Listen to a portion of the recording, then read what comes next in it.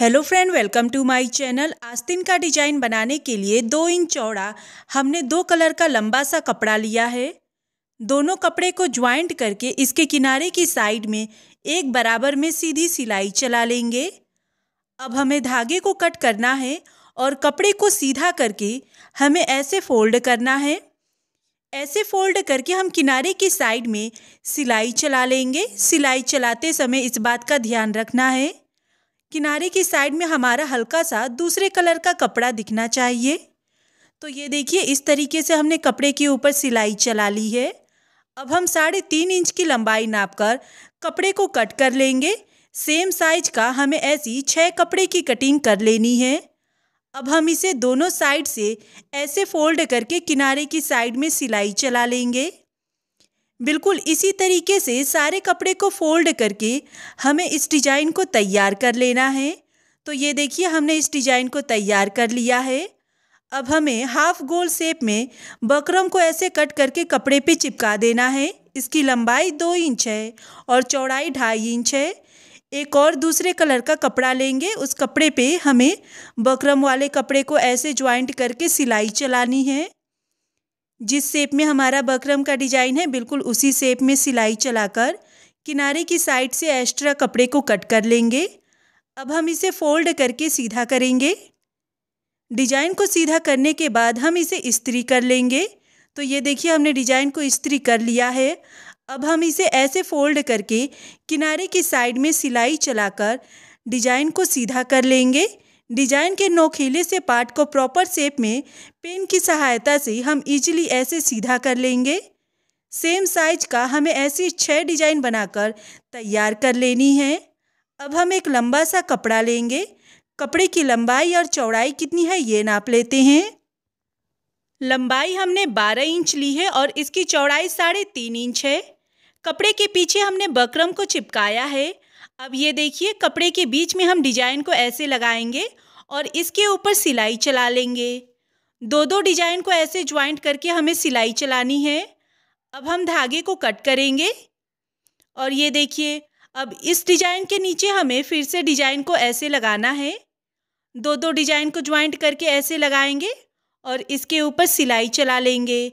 तो ये देखिए, हमने इस लाइन को कंप्लीट कर लिया है। इस लाइन को कंप्लीट करने के बाद, अब जो हमारा दूसरा वाला, ये वाला डिज़ाइन है, इसे हम यहाँ पर लगाएँगे और किनारे की साइड में सिलाई चला लेंगे। डिज़ाइन के एक साइड में, इस डिज़ाइन को लगाने के बाद, बिल्कुल इसी तरीके से डिज़ाइन के दूसरे साइड में भी, हमें डिज़ाइन को ऐसे लगाकर किनारे की साइड में सिलाई चला लेनी है। तो ये देखिए फ्रेंड, हमारी ये लाइन कंप्लीट हो चली है। यहाँ से धागे को कट करेंगे और किनारे की साइड से एक्स्ट्रा डिज़ाइन को ऐसे कट कर लेना है। एक्स्ट्रा डिज़ाइन की कटिंग करने के बाद अब हमें डिज़ाइन में मार्केट वाले बटन को लगाना है। तो मार्केट जैसा बटन घर पे बनाने के लिए हमने शर्ट का बटन लिया है। शर्ट के बटन को हम कपड़े में ऐसे फोल्ड करके धागे की मदद से कपड़े को अच्छे से लॉक कर लेंगे। अब हम यहाँ से एक्स्ट्रा कपड़े को कट कर लेंगे। सुई धागा की मदद से डिज़ाइन को हम यहाँ पर अच्छे से ज्वाइंट करके बीच में बटन को ऐसे लगा देंगे। ये देखिए, यहाँ पर लगाना है। सारे डिज़ाइन में इसी तरीके से हम बटन लगा लेंगे। अब हमें डिज़ाइन के लंबाई के बराबर आस्तीन का कपड़ा लेना है। आस्तीन की चौड़ाई हमने एक साइड से छः इंच दो पॉइंट ली है। अब हम बीच में से कपड़े को दो भागों में कट कर लेंगे। आस्तीन के कपड़े को बीच में से दो भागों में कट करने के बाद अब हमें एक लंबा सा कपड़ा लेना है। कपड़े की चौड़ाई हमने एक इंच ली है। इसे ऐसे फोल्ड करके यहाँ पर लगाएँगे और एक बराबर में सीधी सिलाई चला लेंगे। यहाँ से धागे को और एक्स्ट्रा कपड़े को कट करेंगे। अब हमें कपड़े को अंदर की तरफ़ फोल्ड करके ऊपर की साइड से एक बराबर में सीधी सिलाई चलानी है।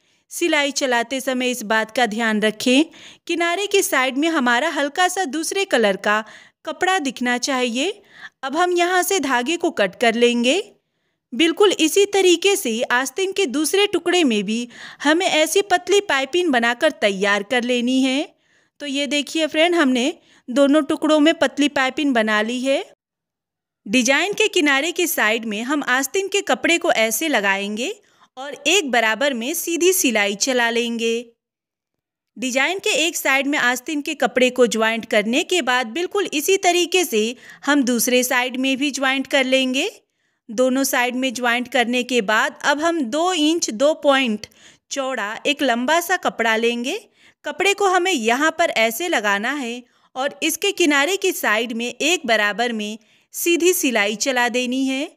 यहाँ से धागे को और एक्स्ट्रा कपड़े को कट करेंगे। अब हमें कपड़े को सीधा करके ऐसे फोल्ड करना है। ये देखिए, ऐसे फोल्ड करके एक बराबर में सीधी सिलाई चलाएँगे।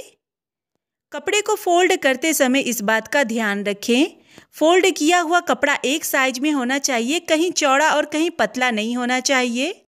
यहाँ से धागे को और एक्स्ट्रा कपड़े को कट कर लेंगे। इसी के साथ हमारा ये डिज़ाइन बन के कंप्लीट हो गया है। आपको ये डिज़ाइन कैसी लगी हमें कमेंट में ज़रूर बताइएगा। Thanks for watching my video